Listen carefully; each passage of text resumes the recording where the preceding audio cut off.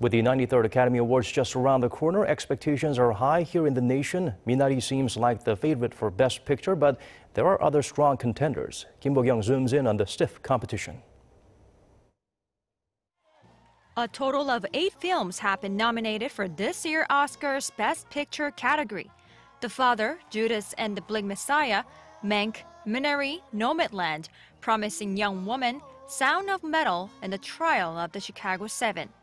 While all are worth taking a look at, critics say Chinese director Chloe Zhao's Nomadland is the front runner.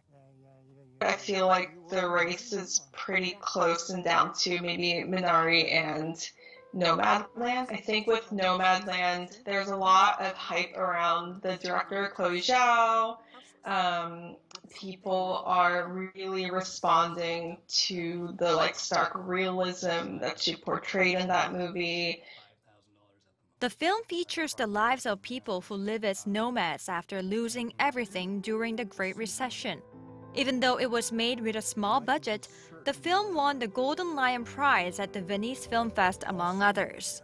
Another favorite is The Trial of the Chicago Seven. The other top contender, I would say, is The Trial of the Chicago Seven, which, you know, given the political situation in the United States, is very relevant. Um, it's uh, distributed by Netflix, which, you know, means that they have a lot of, you know, power for marketing. It has a, a, a big cast of famous actors. So I feel like that one could potentially, you know, be, uh, you know, a spoiler.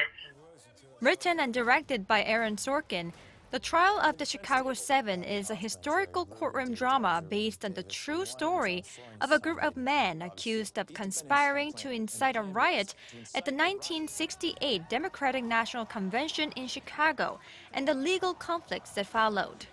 And of course, Minari is also believed to be a strong contender for the way it conveys its message.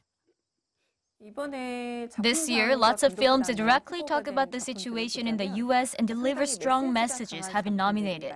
Minari has its own merits in that it delivers the theme in a very emotional and touching way. In particular, the performance of veteran South Korean actress Youn Yuh-jung was enough to earn her a BAFTA for Best Supporting Actress. This year's Oscars ceremony will take place on April 25th at 8 p.m. Eastern Standard Time. 김보경 아리랑 뉴스.